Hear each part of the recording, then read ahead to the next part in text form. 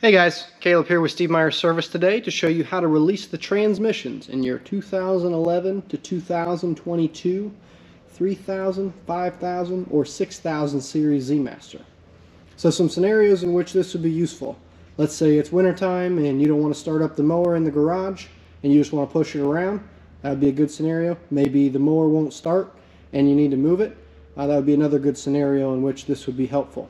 So first off, what we're going to do is get the mower up in the air so we can get a better view of where these release valves are.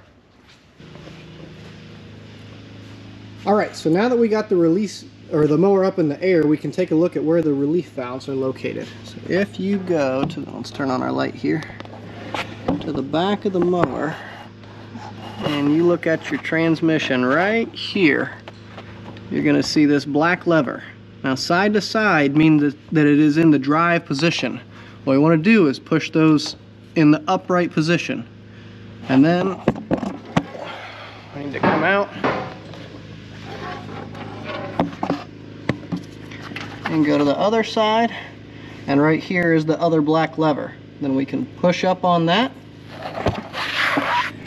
And then all we would need to do is release your parking brake right here. And then we could push some more. All right, guys. Thanks for watching.